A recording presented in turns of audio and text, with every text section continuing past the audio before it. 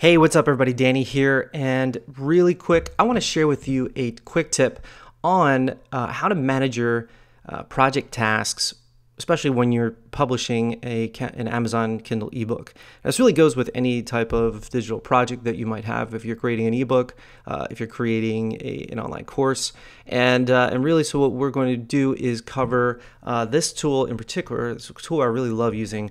Um, I tried a million, not literally a million, but you know, I've tried a lot of uh, project management applications over the years, and as a an agile project manager in the software space, uh, I've just found that so many of them are so complicated that um, you know you really just need something simple. Uh, you need something that you can track your work uh, without getting in your way, so that you can actually get the actual work done right? Okay, so uh, without further delay, uh, I'm just going to show you how to do this, and then I'll go and dive into the why and how, and you know why are we even doing this in the first place. So I really just want to show you really quick. So what we're going to do is uh, just click on here uh, in MeisterTask. You're going to go to I.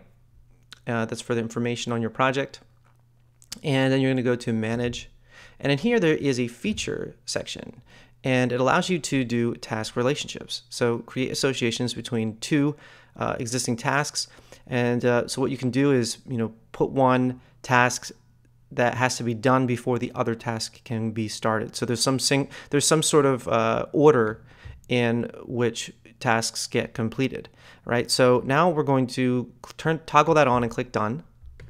Okay, so now I can say, well, I've got um, uh, two in progress here. I've got one uh, my final draft for my for my book, and in that in that I have a, uh, a link at the end that goes to a landing page on my website, right? So that I can gain email subscribers.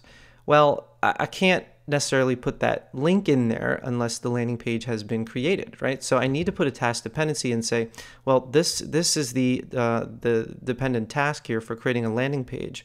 And I need to put the relate. Now you see that there's a relations link there. Uh, I'm going to say this uh, blocks.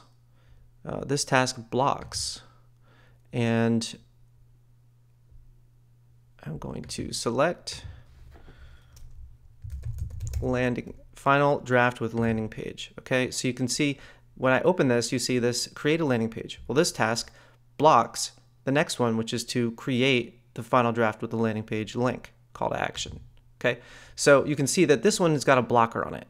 So I can't pull this one in unless I, you know, and if I click on it, I'll see that, oh, I have to create the landing page first. So you click on that and you know you need to work on that. Now, let's go back and talk real quick. Why is that important? Well, that's that's super important. If you're if you're doing this by yourself, I mean, you could probably you probably don't need to do those extra steps. But when you start delegating and you know delegating work to a virtual assistant, which I highly recommend to free up your time to focus on other things, uh, you know, I, I your your team is going to need to know which one do I work on first, so that they don't waste time to meeting your launch date.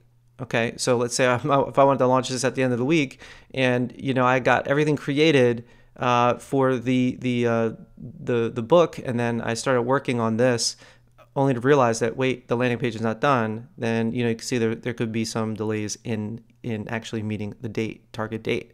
Okay, so just a just a real simple uh, simple strategy in being able to order uh, logically order your tasks for your Kindle ebook projects. If you have any comments or questions on how to manage or publish your Kindle book projects uh, more efficiently, go ahead and leave them in the comments below. And if you haven't uh, yet subscribed to this channel, go ahead and, uh, and click the subscribe button uh, and the ding the, the bell for notifications on when new videos come out. Uh, I cover a lot of, of topics on DIY, uh, web projects, creating websites, online courses, and digital products such as ebooks for your brand. So go ahead and, uh, and click that subscribe link, and I'll see you in the next video.